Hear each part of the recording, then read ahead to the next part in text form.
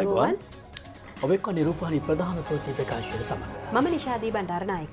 මම දුශාන්තදර්ශන අවධානය ප්‍රෘතිශේෂ පාටවේද. ශ්‍රී ලංකාව සහ ජපානය අතර සමුද්‍රිය ආරක්ෂාව ශක්තිමත් කර ගැනීමට විශේෂ අවධානය. මහා පරිමාණ වංචා දූෂණ විමර්ශනය කෙරෙන ස්ථිර ත්‍රිපුද්ගල මහාධිකරණය විවෘත කෙරේ. ඉකුත් දෙවසරේදී අත්කරගත් ජයග්‍රහණ ආපස්සට හැරවීමට ඉඩ නොතබන බව සාධාරණ සමාජයක් සඳහා වූ ජාතික ව්‍යාපාරය අවධාරණය කරයි. වයඹෑල යෝධ ව්‍යාපෘතිය ලබන විසි හතරවැනිදා ඇරඹේ. ඇෆ්ගන් ජනාධිපතිවරයා රොකට් ප්‍රහාරයකින් දිවිගලවා ගනී. ප්‍රථමෙන්දේශී පුවත්. ශ්‍රී ලංකාව සහ ජපානය අතර සමුද්‍රීය ආරක්ෂාව පිළිබඳ සහයෝගීතාව ශක්තිමත් කර ගැනීමට දෙපාර්ශවයේ විශේෂ අවධානය යොමු වී තිබෙනවා. චාරිකාවක් සඳහා දිවයින්ට පැමිණි ජපාන ආරක්ෂක අමාත්‍ය ඉත්සුනෝරි උණෙදොරා මහතා ජනාධිපති මෛත්‍රීපාල සිරිසේන මැතිතුමා අද මුණ ගැසුණු අවස්ථාවේදී ඒ ගැන සාකච්ඡා කෙරුණා. හමුව සිදු වූයේ ජනාධිපති කාර්යාලයේදී. ජපාන ආරක්ෂක අමාත්‍යවරයෙකු මෙරට නිල චාරිකාවක නිරත වන පළමු අවස්ථාව මෙයයි. ජනාධිපති මෛත්‍රීපාල සිරිසේන මැතිතුමා පසුගිය ජපාන රාජචාරිකාවේදී ඇති කරගත් එකඟතා ක්‍රියාවට නැංවීමේ ප්‍රගතිය මෙහිදී සමාලෝචනය කෙරුණා. ශ්‍රී ලංකාව සහ ජපානය අතර සම්බන්ධතා තවදුරටත් පුළුල් කරගනිමින් දෙරට අතර ආරක්ෂක සහයෝගීතාව වර්ධනය කර ගැනීමට අපේක්ෂිතයි. ජපාන ආරක්ෂක අමාත්‍ය ඉත්සුන්නෝරි ඔනදේරා මහතා අද අග්‍රාමාත්‍ය රනිල් වික්‍රමසිංහ මැතිතුමාද මුණ ගැසුණා. ඒ අරලියගහ මන්දිරයේදී ශ්‍රී ලංකාව සහ ජපානය අතර ආරක්ෂක සම්බන්ධතා තර කර ගැනීමට ක්‍රියා කරමින් දෙපාර්ශ්වය අතර ඒ පිළිබඳ අවබෝධතා ගිවිසුමක් ඇති කර ගැනීමේ වැදගත්කම මෙහිදී අවධාරණය කෙරුණා. ඉන්දිය සාගරයේ නිදහස් නාවක ගමනාගමනය වෙනුවෙන් ශ්‍රී ලංකාව සෑම විටම කැපවී ක්‍රියා කරන බවත් තවත් වසර 20ක් ගත වෙද්දී බෙන්ගාල බොක්ක ආශ්‍රිත රටවල් ශීඝ්‍ර වර්ධනයක් අත්කර ගන්නා බැවින් එම ප්‍රදේශයේ ආශ්‍රිත කේන්ද්‍රීය වරාය බවට ත්‍රිකුණාමල වරාය පත්වන බවත් වික්‍රමසිංහ මහතා සඳහන් කළා. මෙරට වරාය සංවර්ධන කටයුතු සඳහා ජපානයේ සහය අපේක්ෂා කරන බවද ප්‍රකාශ කෙරුණා. ජපාන ආරක්ෂක අමාත්‍යවරයා කියා සිටියේ ත්‍රිකුණාමල ප්‍රදේශයේ සංචාරය කර සියලු කරුණු පිළිබඳ අවබෝධයක් ලබා ගැනීමට තමන් අපේක්ෂා කරන බවයි. ශ්‍රී ලංකාව සහ ජපානය අතර සමුද්‍රීය ආරක්ෂක සහයෝගීතාව මෙන්ම කලාපීය සාමය පිළිබඳවද මෙහිදී අදහස් කුමාරු කර ගැනුණා. දෙරටේ රාජතාන්ත්‍රික නියෝජිතයින් ඇතුළු පිරිසක්ද මේ අවස්ථාවට එක්ව සිටියා. මහා පරිමාණ වංචා දූෂණ විමර්ශනය සඳහා ස්ථාපනය කරනු ස්ථීර ත්‍රිපුද්ගල මහාධිකරණය අද උදේ විවෘත කෙරුණා. එය පිහිටුවා ඇත්තේ ශ්‍රී ලංකා නීති විද්‍යාලය අසල පිහිටි ගොඩනැගිල්ලේ. අදාළ නඩු කඩිනමින් විසඳා සමාජ සාධාරණත්වය ඉටු කිරීම මෙහි මූලික අරමුණයි. එක්දහස් නවසේ හැත්තෑ අට වසරේදී ව්‍යවස්ථාපිතව පිහිටුවනු ලැබූ මෙරට මහාධිකරණ විටින් විට කාලානුරූපීව වෙනස් වී තිබෙනවා. එම වෙනස් කිරීම සිදු කෙරුණේ යුක්තිය පසඳලීමේ ක්‍රියාවලිය විධිමත් කිරීම සඳහායි. එක්දහස් නවසේ අනුවේදී පළාත්බද මහාධිකරණයද පිහිටුවනු ලැබුවා. ආණ්ඩුක්‍රම ව්‍යවස්ථාවේ 154 ඇල ඉරක් සීවගන්ති ප්‍රකාරව පිහිට වූ එය 1996 දී තවදුරටත් විකාශනය කරමින් වාණිජ්‍ය මහාධිකරණ පිහිටුවා ගැනුණා. 1978 අංක දෙක දරන අධිකරණ සංවිධාන පනත සංශෝධනය කරමින් ඉකුත් මැයි මාස 9 වෙනි දින ව්‍යවස්ථාදායකයේ වැඩි ඡන්දයෙන් නව විශේෂ මහාධිකරණ පිහිටුවීමේ සංශෝධන පනත සම්මත කෙරුණා. මැයි 18 වෙනිදා කතානායකවරයා ඊට අත්සන් තැබීමෙන් පසු මෙම විශේෂ ත්‍රිපුද්ගල මහාධිකරණය පිහිටුවනු ලැබුවා. ප්‍රතිසංස්කරණය කෙරෙනු එම ගොඩනැගිල්ල අධිකරණ සේවා කොමිෂන් සභාවට අද බාර දෙනු ලැබුවේ අමාත්‍ය තලතා අතුකෝරළ මහත්මිය විසින්. ඊට අවශ්‍ය විනිසුරුවරුන්ද පත් කෙරුණා. සභාපතිවරයා සම්පත් අබේකෝන් මහතායි. සම්පත් විජේරත්න සහ චම්පා ජානකී රාජරත්න එහි සෙසු විනිසුරුවරුන් වනවා. මේ අධිකරණයෙන් දෛනිකව නඩු විභාග කිරීම සිදුවන අතර පමාවකින් තොරව තීන්දුව ලබා ගැනීම අරමුණයි. හිටපු ජනාධිපති කාර්ය මණ්ඩල ප්‍රධානී ගාමිණී සෙන්රත් සහ ශ්‍රී ලංකා රක්ෂණ සංස්ථාවේ හිටපු කළමනාකාර අධ්‍යක්ෂ පියදාස කුඩාබාලගේ යන අයට එරෙහිව පළමු නඩුව ගොනු කරනවා. නීතිපතිවරයා විසින් එය අගවිනිසුරුවරුගේ අනුමැතිය සඳහා ඉදිරිපත් කිරීමට පියවරගෙන තිබූ අතර සැකකරුවන් වෙත අධිචෝදනා බාර දීමටද නියමිතව තිබුණා. ගාමිණී සෙන්රත් සහ පියදාස කුඩාබාලගේ යන අය චෝදනා ලැබ සිටින්නේ ශ්‍රී ලංකා රක්ෂණ සංස්ථාවට අනුබද්ධ සමාගමක් විසින් ඉදිකරන ලද කොල්ලුපිටිය ග්‍රෑන්ඩ් හයිට් හෝටල් ව්‍යාපෘතියට 2012 වසරේදී වෙන් කෙරුණු රුපියල් බිලියන 18.5ක මුදලින් බිලියන 4ක් නිසි අවසරයකින් තොරව හම්බන්තොට හයිඩ් රීජන්සි හෝටල් ව්‍යාපෘතියට යෙදීමෙන් රජයේ මුදල් අවභාවිත කර ඇති බවටයි. දෙදස් පහළොවේ ජනවාරි 8 වෙනිදා ජනතාව වෙනුවෙන් කියපු දෙයක් තමයි ඉතින් රජයේ මුදල් අවභාවිතා වෙලා තියෙන වෙලාවට ඒ අය සම්බන්ධයෙන් නිසි දඬුවම් දෙන්න කියලා. ඉතින් අපිට කාර්යයක් ගියා ඒ සඳහා අවශ්‍ය අධිකරණ සංවිධාන පනතේ සංශෝධන එහෙම කරලා ඉදිරිපත් කරලා මේ ස්ථාන හොයාගෙන පළවෙනි ස්ථීර ත්‍රිපුද්ගල මහාධිකරණය පිහිටවන්න. ඉතින් මං හිතනවා මගේ වගකීමක් ඉෂ්ට කරා කියලා. පැවති රජයේ ආරක්ෂක අමාත්‍යවරයාට සහ ලේකම්වරයාට ඍජුවම බැන ලිපියක් පළ කළාට පසුදින තමන් පැහැර ගැනීමට ලක් වූ බවට මාධ්‍යවේදී කේත් නොයා මහතා ලබා දුන් ප්‍රකාශය සම්බන්ධයෙන් අපරාධ පරීක්ෂණ දෙපාර්තමේන්තුව ඊයේ අධිකරණයට කරුණු දැක්වුවා. මාධ්‍යවේදී කීත් නොයර් මහතා පැහැරගෙන ගොස් ක්‍රූර ලෙස වද හිංසා සිදු කළයි කියන සිද්ධියට අදාළ නඩුව ඊයේ කැඳ වූ අවස්ථාවේදී අපරාධ පරීක්ෂණ දෙපාර්තමේන්තුව ඔහුගෙන් ලබාගත් ප්‍රකාශයේ සාරාංශයක් අධිකරණයට ඉදිරිපත් කළා. පැහැරගෙන යන අතරතුර තමාට පහර දුන් බවත් පහර දෙන අතරේ තමාගේ ලිපිවලට තොරතුරු ලැබුණේ කෙසේද යන්න විමසූ බවත් එම ප්‍රකාශයේ සඳහන්. බිරිඳ හා දරුවන් සම්බන්ධ බැංකු ගිණුම් පිළිබඳ තොරතුරුද විමසා ඇති බව අධිකරණය හමුවේ ඊයේ අනාවරණය වුණා. තමාගේ දැස් බැඳ පැහැරගෙන බදුවත්ත නිවසට රැගෙන ගොස් අඩනිරුවත් කොට ජංගම දුරකථනය සහ මංගල මුදුවද අදාළ පුද්ගලයන් විසින් අබාගත් බවත් පහර දෙන අතරතුර එම ස්ථානයේ සිටි අයෙකුට දුරකථන ඇමතුමක් ලැබුණු බවත් ප්‍රකාශයේ සඳහන්ව තිබෙනවා. අනතුරුව පහර දීම නවතා තමා ගල්කිස්ස ප්‍රදේශයට ගෙන ගොස් මහමග දමා ගිය බවද එහි දැක්වෙනවා. සිද්ධියෙන් අනතුරුවද සුදු වෑන් තම නිවස අසල සැරිසරු බවත් එම නිසා තමා බිරිඳ සහ දරුවන් සමග ඕස්ට්‍රේලියාව බලා පිටත්ව ගිය බවත් කීත් නොයර් මහතාගේ ප්‍රකාශයේ සඳහන්. ශ්‍රී ලංකන් ගුවන් සමාගම ශ්‍රී ලංකන් කේටරින් සහ මෙහින් ලංකා යන ආයතනවල සිදුව ඇති අක්‍රමිකතා සෙවීම සඳහා පත් කෙරෙනු ජනාධිපති විමර්ශන කොමිසම වෙත අද අමාත්‍ය සරත් අමුණුගම මහතා කැඳවා තිබුණා. ඔහු මෙලෙස කැඳවා තිබුණේ ශ්‍රී ලංකන් ගුවන් සමාගමේ හිටපු සභාපතිවරයාගේ අභිමතය පරිදි ගුවන් ගමනාන්තයන් වෙනස් කිරීම සම්බන්ධව සිදු කරන පරීක්ෂණවලට අදාළ ප්‍රකාශයක් ලබා ගැනීම සඳහායි. ආම ශ්‍රී ලංකන් එකේ ගුවන් යානයක් කුල නුම්පුරුවල ඉඳන් සිංගප්පූරුවට ඇරෙව්වා. අරවලා සිංගප්පූරුවේ ඉඳන් එන ගමන් මමත් හිටියා ඒ මන් නිල ගමනට ගිහිල්ලා ඒ එන ගමන්. ඒ ගැන විස්තර තමයි මම දුන්නේ. ඒ එක සිද්ධියක් ගැන මගේ ඇස් වලින් පෙනුන දේ මම සාක්ෂියක් හැටියට දුන්නා. මහින්ද රාජපක්ෂ මහතාට යළිත් ජනාධිපතිවරණයට ඉදිරිපත් විය හැකි බවට මතුව ඇති කතාබහත් සමග ඒකාබද්ධ විපක්ෂය හා ගෝඨාභය රාජපක්ෂ මහතාගේ පාර්ශව වියවුලකට පත්ව ඇතැයි එක්සත් ජාතික පක්ෂය පවසනවා. සිරිකොත පක්ෂ මූලස්ථානයේ අද පැවති මාධ්‍ය හමුවකදී ඒ ගැන පැහැදිලි කළ පාර්ලිමේන්තු මන්ත්‍රී තුෂාර ඉන්දුනිල් අමරසේන මහතා. අපේ ගෙවල් වල කොහෙන් ගෙනල්ලා කට්ටනින් ගෙනල්ලා සාන්ති කර්ම යාග හෝම කළත් ගෙවල් අතහැරලා යන්න නැති භූත ආත්ම තියෙනවා. මේ අපි ඉන්න മന്ത്രി ධූරයක් දක්වා පල්ලම් බහින්න තරම් බලය වෙනුවෙන් කෑදර වෙච්ච මහින්ද රාජපක්ෂ මහත්තයා ආය ආපහු තුන්වෙනි වතාවටත් සවුත්තු වෙන්න හදන උත්සාහයක් ඇවිත් තමයි මේක මේ දකින්නේ. මේ ගෝඨාභය රාජපක්ෂට බැසිල් රාජපක්ෂට චමල් රාජපක්ෂට මේ සියලු රාජපක්ෂවරුන්ට පිළිබඳව විශාල බයක් මහින්ද රාජපක්ෂ මැතිතුමා ඇතුළු ඒ පවුලේ කණ්ඩායමට ඇති වෙලා තියෙනවා කියන එක තමයි අලුතෙන් කරලියට පැමිණිච්ච කතාවත් එක්ක අපි දකින එක පාර. ඒ බය නිසා තමයි කිසි කෙනෙක් ඉල්ලන්න එපා මට ආය අපහු ඉල්ලන්න පුළුවන්ද කියන කාරණයක් අවස්ථාවක් හිලක් ඉඩක් හොයමින් දැන් මේ යන්නේ. හරි මග කිව්වා, වියත් මග කිව්වා, එළිය කිව්වා. දැන් කෝ දැන් එතකොට දැන් මොයවට මොකද්ද වෙන්නේ? ගෝඨාභය රාජපක්ෂ මහත්තයාගේ හිටපු කණ්ඩායම් ටිකට දැන් වැඩ නැහැ. Duty off. ඉතින් ඒ වගේ උදේගම්මන් පිරලත් මහින්ද රාජපක්ෂ මහත්තයා මේ ආය ආපහු මේ එන්න හදනවා නම් ඒක කටයුත්තට කැමති නැහැ. ඉතින් ඒ වගේ අභ්‍යන්තරික ප්‍රශ්න ගණනාවක් මේ කාරණය හරහා තියෙනවා කියන එක විශේෂයෙන් මේ අවස්ථාවේදී මම කියන්න ඕනේ.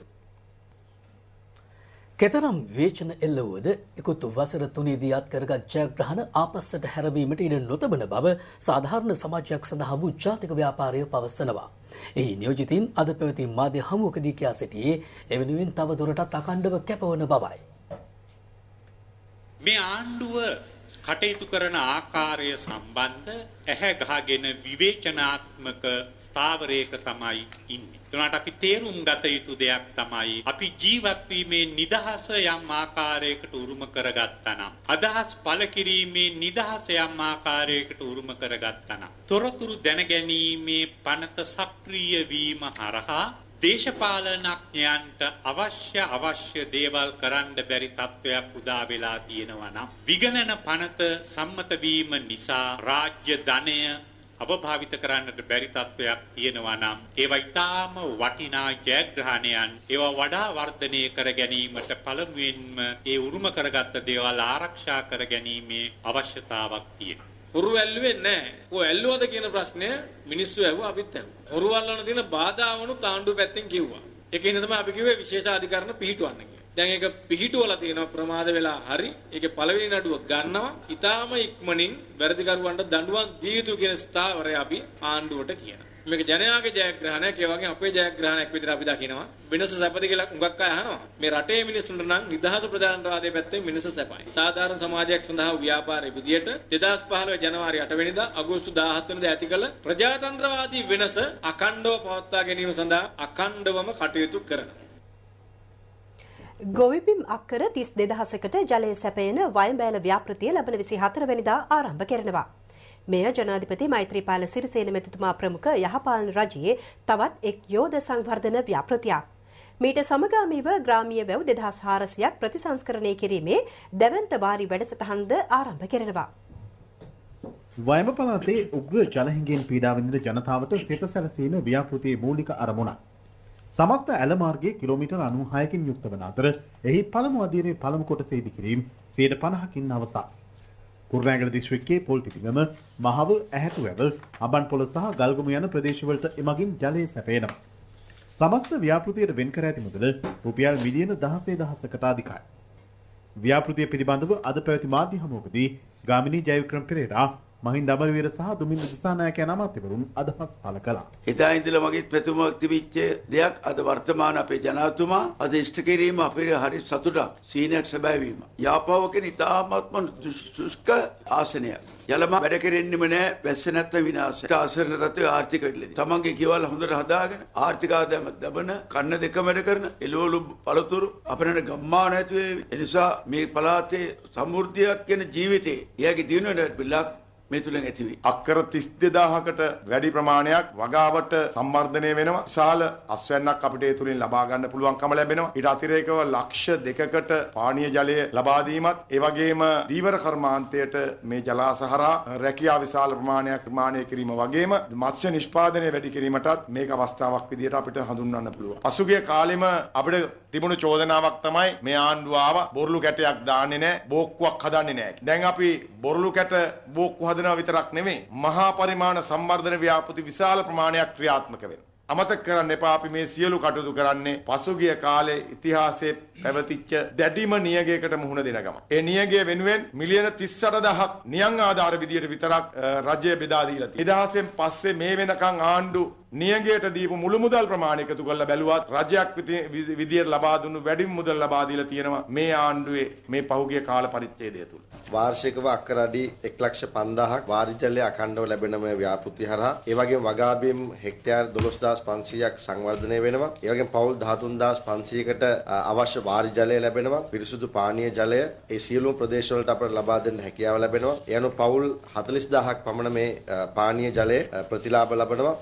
පෞගේ ඉතිහාසෙ නම් කෘෂිකර්මාන්තයෙන් ජාතික ආදායමට එකතු වෙන ප්‍රමාණයත් ඒ වගේම නිෂ්පාදනය ප්‍රමාණයත් අඩු වෙන්න හේතු. ජලය ටික දෙන්න නැතුව වගා කරන්න කිව්වට ගොවියට මහ පොළොවත් එක්ක හැප්පුණාට වැඩක් වෙන්නේ. එහෙනම් ඒ ජලය ලබා දීම තමයි ආණ්ඩුවක් විදිහට ප්‍රධාන වශයෙන් අපි කරන්න ඕන රාජකාරී. ඉතින් මොරගහ කන්ද හැදෙනකන් අපි බලාගෙන හිටියා. දැන් මොරගහ කන්ද අපි දැක්කා. දැන් වයඹ ජනතාවට මේ මොරගහ කන්දේ ප්‍රතිලාභ වයඹල හරහා විශාල ජනතාවකට ලබා ගන්න අවස්ථාවක්.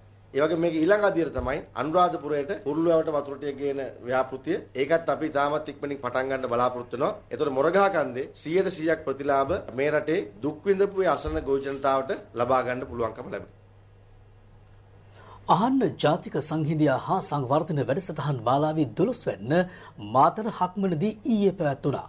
මේ ආරම්භ කර ඇත්තේ සාමය හා සංහිඳියාව තුළින් තිරසර සංවර්ධනයක් සඳහා රට ඉදිරියට ගෙන යාමේ අරමුණේ.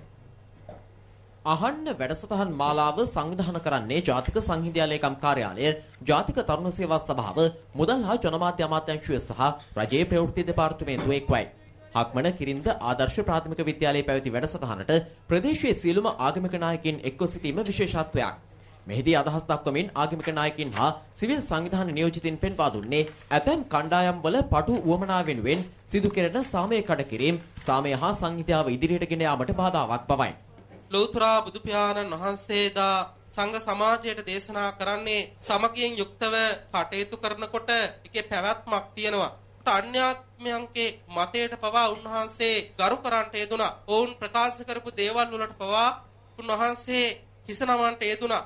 ඒවා පිළිගන්නට යෙදුනා. ඒක සහජීවණයෙන් යුක්තව ජීවත් වීමක්. අපි අද මිනිස්සු හිතන්නේ මගේ ගෙදර මගේ ගම මගේ රට මගේ කියලා මගේ මගේ කියන තමයි. නමුත් කිසි දෙනෙක් ගම හෝ රට හෝ කිසි දෙයක් කිසි දෙයක් ගෙනියන්නේ නැති බව අද ඒක අමතක කරලායි තියෙන්නේ. අපි මරනෝ මරනකොට කිසි දෙයක් ගෙනියන්නේ කියලා. සිංහල වේවා මුස්ලිම් වේවා ද්‍රවිඩ වේවා තා කුඩා කණ්ඩායම් කිහිපයක් විසින් මේ රටේ තැන් තැන්වල කතා කරන මේ ජාතිවාදී ප්‍රශ්නේ කෙලවර තමයි නැවත මේ රටේ එවැනි අරගලයක් ඇතිවීම. එහෙමනම් අපේ රට මේ තියෙන තැන ඉඳලා අලුත් තැනකට සංක්‍රාන්තියක් වෙන්න ඕනේ. අන්න අපේ මනසට එන්න ඕනේ. දැන් මං ඉන්නේ අලුත් රටක. මම මුස්ලිම් නෙවෙයි. ඒක මගේ ප්‍රතිත්‍යාපික. මම ශ්‍රී ලාංකිකයෙක්. මම දෙමළ නෙවෙයි. මම ඒක මගේ භාෂාව විතරයි. මම ශ්‍රී ලාංකිකයෙක්. මම සිංහල නෙවෙයි. මම මහා පුරුෂයෙක්. මම මේකේ ශ්‍රී ලාංකිකයෙක්. ඕක හදාගත්තාම ඊළඟට කියන්න පුළුවන් මම පුරවැසියෙක්. ලෝකේ ඕන තරකට මුණ දෙන්න පුළුවන් මම ග්ලෝබල් මිනිහෙක්. අහන්න වැඩසටහන් මාලාවේ තවත් අධීරයක් හෙට මහනුවරදී පැවැත්වීමට නියමිතයි. අන්තර් විශ්වවිද්‍යාලීය ශිෂ්‍ය බල මණ්ඩලය අද පස්වරුවේ කොළඹදී උද්ඝෝෂණ පාගමනක නිරත වුණා. අග්නිදිග විශ්වවිද්‍යාලීය තාක්ෂණ පීඨයේ ගැටලු විසඳන්නයි බල කරමින් එම විශ්වවිද්‍යාලයේ සිසුන් ඇතුළු අන්තර් විශ්වවිද්‍යාලීය ශිෂ්‍ය බල මණ්ඩලය උද්ඝෝෂණ පාගමන ආරම්භ කළේ කොළඹ සෞන්දර්ය විශ්වවිද්‍යාලය අසලින්. පසුව මාර්ග කිහිපයක දැඩි වාහන තදපදයක් හටගැනුණා. උද්ඝෝෂකින් වෝට් පෙදෙසට ඇතුළු වී විශ්වවිද්‍යාල ප්‍රතිපාදන කොමිෂන් සභාව දෙසට ගමන් කිරීමට උත්සාහ දැරුව අතර එම අවස්ථාවේදී පොලිසිය විසින් ජල ප්‍රහාර එල්ල කර ඔවුන් විසිරුවා හැරීමට පියවර ගත්තා.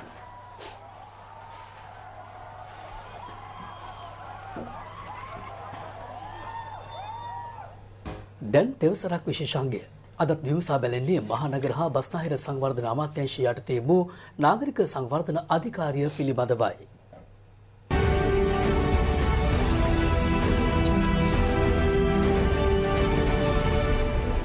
සබරගමුව පළාතේ ව්‍යාපෘති 10ක් සඳහා නාගරික සංවර්ධන අධිකාරිය රුපියල් මිලියන 338ක මුදලක් ආයෝජනය කර තිබෙනවා. එමගින් කෑගල්ල බස් ඩිපෝව සංවර්ධනයට රුපියල් මිලියන 600ක් සහ රත්නපුර සබරගමුව මහා සමන් දේවාලයේ ප්‍රතිසංස්කරණ සඳහා රුපියල් මිලියන 100ක් වැය කර තිබෙනවා.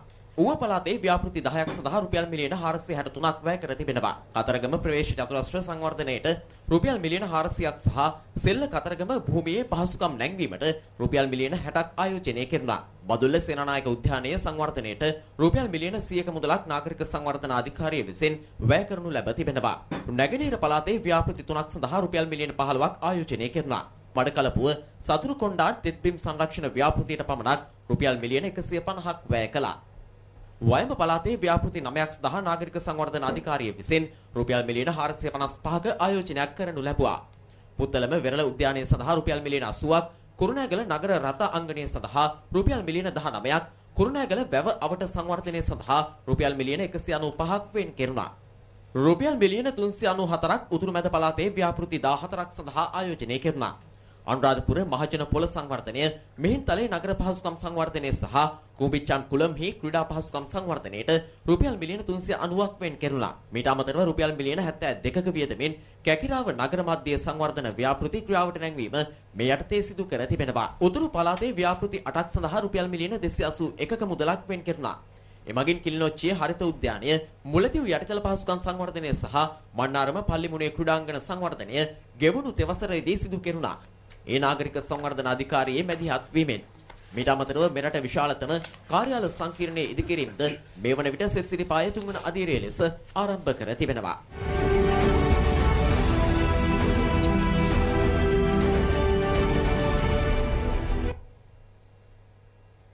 බන්ධනාකාරය තුළ මද්‍රව්‍ය ජාවාරමේ නිරත පුද්ගලයන් සම්බන්ධයෙන් වගකිව යුතු රජයක් ලෙස පියවර ගැනීමට සිදුව ඇති බව අධිකරණ හා බන්ධනාගාර ප්‍රතිසංස්කරණ අමාත්‍යාංශය පවසනවා. වැලිකඩ රැඳවියන් සම්බන්ධයෙන් මතුව ඇති තත්ත්වය පිළිබඳ අදහස් දක්වමින් අමාත්‍ය තලතා අතුකෝරළ මහත්මිය මේ බව කියා සිටියා. මද්‍රව්‍ය ජාවාරමක නිරතව සිටි රැඳවියකු වෙනත් බන්ධනාගාරයක් වෙත මාරු කර යැවීමට බන්ධනාගාර පාලන අධිකාරිය පියවර ගත්තේ ඉකුත් 13 වෙනිදායි. එය සහ තවත් ඉල්ලීම් කිහිපයක්ද මුල් කරගනිමින් මද්‍රව්‍ය චෝදනා මත බන්ධනාගාරගත කෙරුණු කාන්තාවන් පිරිසක් විරෝධතාවක් ආරම්භ කළා. එහිදී බන්ධනාගාර රැඳවියන් සහ නිලධාරීන් අතර ඇති වූ කලහකාරී තත්වයේදී බන්ධනාගාර නිලධාරීන් 8 දෙනෙකු තුවාල ලැබුවා. තත්වය පාලනය කිරීම සඳහා ඊයේ දිනේදී රැඳවියන් 50 දෙනෙකු වෙනත් බන්ධනාගාරට මාරු කර යැවීමට බන්ධනාගාර පාලන අධිකාරිය විසින් පියවර ගනු ලැබුවා. මේ සම්බන්ධයෙන් සිරකරු අයිතිවාසිකම් සුරකීමේ සංගමය අද මාධ්‍ය හමුවක් කැඳවා තිබුණා. එහි කැඳවුම්කරු නීතිඥ සේනක පෙරේරා මහතා අදහස් දක්වමින් කියා සිටියේ වැලිකඩ බන්ධනාගාර කාන්තා රැඳවියන්ගේ සිද්ධිය පිළිබඳව අපරාධ පරීක්ෂණ දෙපාර්තමේන්තුව මගින් විධිමත් පරීක්ෂණයක් පැවැත්වීමට රජය පියවර ගත යුතු බවයි. අපි රජයෙන් ඉල්ලා සිටිනවා මේ සම්බන්ධයෙන් වහාම අපරාධ පරීක්ෂණ දෙපාර්තමේන්තුව මගින් පරීක්ෂණයක් පවත්වන්න මේ සම්බන්ධයෙන් රැඳවියන්ට ඇතිවෙච්ච අසාධාරණ වහාම පියවරක් ගන්න කියලා අපි රජයෙන් ඉල්ලා සිටිනවා. වැලිකඩ බන්ධනාගාරයේ ඒ කාන්තා රැඳවියන් ඉදායි උද්ඝෝෂණය කරපු වෙලාවේදී මේ ඇමතිනි සිද්ධ කරේ මොකද්ද? SP උඩුවර නැමති මිනිමරුවව යොදලා මර්ධනය කරන එක. අදාළ චෝදනාව සම්බන්ධයෙන් අද පැවති උත්සවයකදී අදහස් දැක් වූ අමාත්‍ය තලතා අතුකොරල මහත්මිය. රැඳවියෝන්ගේ ස්ථානයේ අපිට තොරතුරු ලැබිලා තියෙනවා. විශේෂයෙන්ම පිටතින් මත් ද්‍රව්‍ය පැමිණෙනවා කියන. වහලේ උඩ ඉඳගෙන හේතුවක් නැතුව කෑ ගහන අය පුතක් හැටියට කාලයකට ඇවිල්ලා යන අය. ඊයේ පෙරේද තමයි හදිසියෙන්ම නඩු ප්‍රමාදය ගැන කතා කරන්නේ. අපේ අමාත්‍යාංශයේ යටතේ තියෙන රස පරීක්ෂක දෙපාර්තමේන්තුවෙන් ඒ කඩිනම් කරලා ඒ කටයුතු කරනවා. ඉතින් අධිකරණය තමයි තීරණය කරන්නේ ඒ අයගේ අප සම්බන්ධයෙන්. මහනුවර ඇසල පෙරහැර මංගල්‍යයේ පළමු රන්දෝලි පෙරහැර දැන් වීදි සංචාරය කරනවා.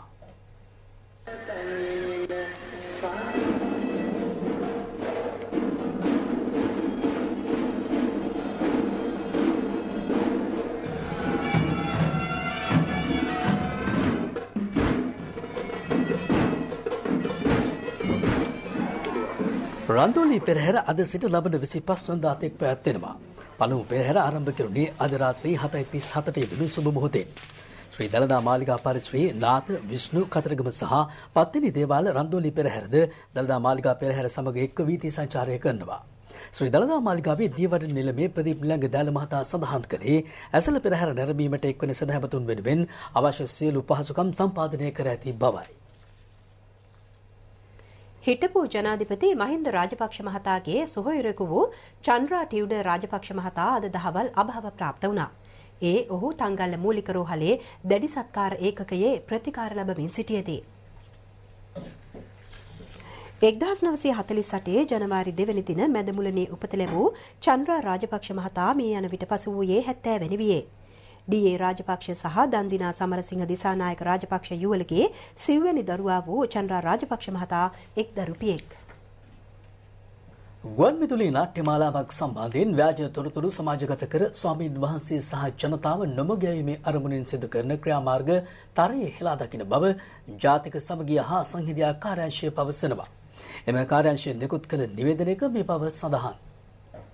මෙම ගුවන්විදුලි නාට්‍යමාලාවේ තිර පිටපත අනුව එහි අන්තර්ගතයේ ගුණධර්ම මෙන්ම ආධ්‍යාත්මික සංවර්ධනය අමතක කිරීම නිසා සමාජයේ දක්නට ලැබෙන පිරිහීම සම්බන්ධයෙන් ජනතා අවධානය යොමු කෙරෙනවා.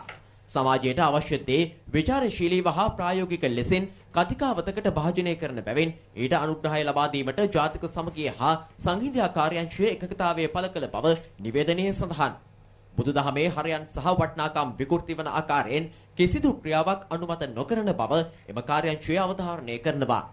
මෙබගින් බෞද්ධ දර්ශනය පිළිබඳ විකෘති කිරීමක් සිදු නොවූ බවයි ගුවන්විදුලි නාට්‍ය පුහුණුකරු තිලින සමරසූරිය මහතා පවසන්නේ. මට වගකීමෙන් කියන්න පුළුවන් මේ නාට්‍ය නිර්මාණ දෙකේම පමණක් නොවේ කතා මාලාවම ඇත්තටම මේ සිංහල මාධ්‍යයෙන් නාට්‍ය 12ක් නිෂ්පාදනය කරලා තියෙනවා. දමිළ මාධ්‍යයෙන් ඒ කියන්නේ ඒ 12න් දෙකක් නැවත දමිළ මාධ්‍යයෙන්ුත් නිෂ්පාදනය කරලා තියෙනවා. මේ නාට්‍ය මාලාවෙම අන්තර්ගතයේ කිසිම විදියකින් කිසිම ආගමකට අපහාසයක් හෝ නිගා කිරීමට අරමුණු කරලා නැහැ. ඇෆ්ගනිස්තානයේ කාබුල් ලගනුවර ජනාධිපති මන්දිරය ඉලක්ක කරගනිමින් අද රොකට් ප්‍රහාර කිහිපයක් එල්ල කෙරුණා. එම අවස්ථාවේ ජනාධිපති අශ්රෆ් ගානි හජ් උත්සවය නිමිත්තෙන් ජාතිය අමතමින් සිටි බවයි වාර්තා වන්නේ. ජනාධිපතිවරයා නිරුපද්‍රිතව සිටිනවා.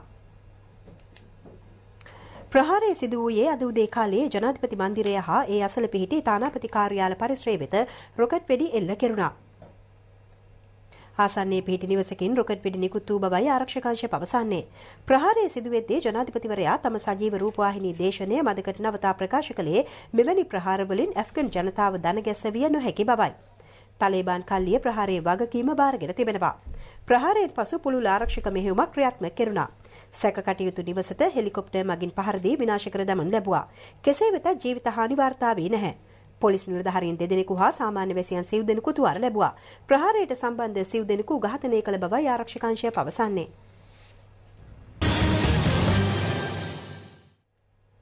දහ අටවන ආසියානු මලල ක්‍රීඩා තරගාවලියේ තෙවන දිනය අදයි. ඒ පිළිබඳ තොරතුරු ගෙනෙන්නේ සුරේෂී ගුණසේකර.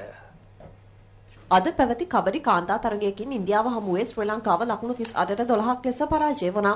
ශ්‍රී ලංකාව මූලික වටයේදී තමන් සහභාගී වූ තරඟ හතරෙන් ජයගත්තේ තරඟ දෙකක් පමණයි. කිලෝග්‍රෑම් 62 බරපන්තියේ වරිස්ලීමේ සොබ නියෝජනය කළ තිලංක පළඟසිංහද ඉන් පරාජය වුණා. දුන්විදීමේ කේවල පිරිමි තරගයට සහභාගී වූ සජීව ද සිල්වා එහිදී හිමි කරගත්තේ 64 වන ස්ථානයයි. එක් පිලකට තිදෙනා බැගින් වූ පැසිපන්දු කණ්ඩායම් තරඟ සඳහාද ශ්‍රී ලංකා ක්‍රීඩකින් අද සහභාගී වුණා. එහිදී පළමු තරඟයෙන් ශ්‍රී ලංකාව චීනය හමුවේ පරාජය වුණේ ලකුණු 21කට 14ක් ලෙස.